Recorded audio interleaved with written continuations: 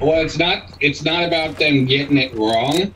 The director of this uh, series just looked up on Wikipedia, picked a few of the main characters, and then started it. He doesn't know anything about the game.